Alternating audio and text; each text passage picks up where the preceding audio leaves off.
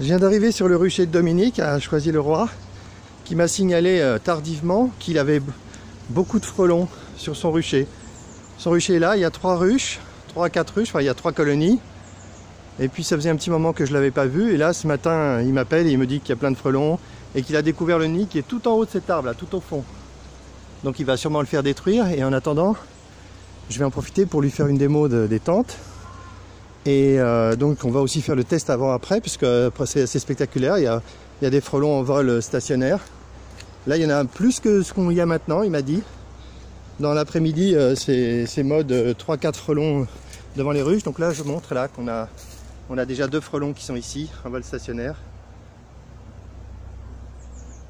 Donc on va pouvoir faire le test avant, après.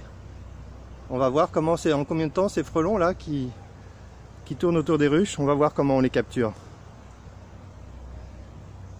Et donc, euh, il y a une des ruches qui, commence à être bloquée.